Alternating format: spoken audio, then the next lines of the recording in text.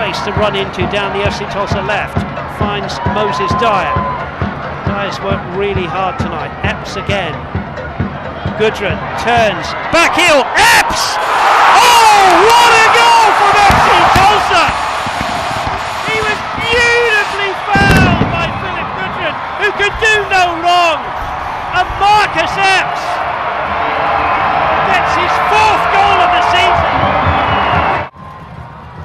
Outstanding. Marcus Epps, the initial ball in, and Phillip Goodrum, the awareness, the creativity, and the skill, sees the run on the inside, and a clinical finish from Marcus Epps on the far post, low and away. Nothing Steinwascher can do. All FC Tulsa.